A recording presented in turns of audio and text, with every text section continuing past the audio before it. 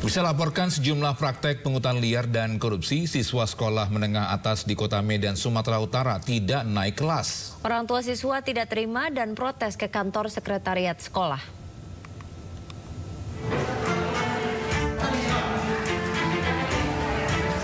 Jadi Pak tinggal kelas? Anak saya tinggal kelasnya karena absen katanya. Ini peraturan pemerintah, bukan sekolah swasta ini. Tidak terima anaknya tidak naik kelas, orang tua siswa sebuah SMA negeri di kota Medan, Sumatera Utara mendatangi wali kelas. Orang tua siswa ini menanyakan alasan pihak sekolah yang dinilai tidak masuk akal terkait absensi anaknya. Ia bahkan menduga sentimen pribadi kepala sekolah terhadap anaknya karena laporan korupsi dan pungli yang ia layangkan ke Mapolda Su. Instansi terkait, dinas, seluruhnya ke, Pak- ke gubernuran. Saya laporkan. Tapi tindakan tadi itu nggak ada. Ya jadi karena ada melanggar hukum, saya laporkan ke hukum ke Polda.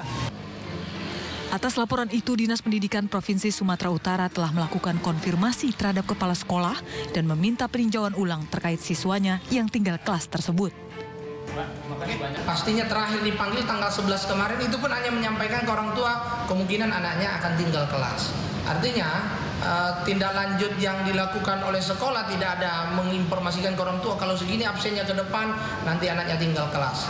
Maka kita sampaikan kemarin karena kurangnya pembinaan itu harap itu dipertimbangkan dan ditinjau ulang.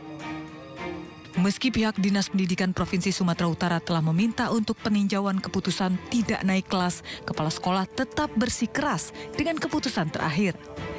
Pihak sekolah juga membantah adanya sentimen pribadi antara orang tua siswa dan kepala sekolah. Tapi ingat ya, tidak ada, jangan dihubungkan dengan saya dilaporkannya itu dengan anak tinggal kelas. Tidak.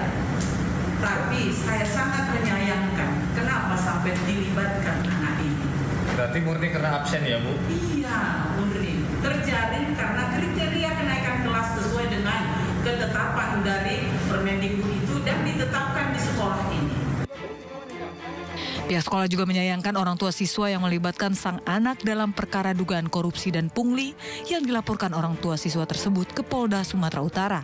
Dari Medan, Sumatera Utara, Tim Liputan iNews melaporkan.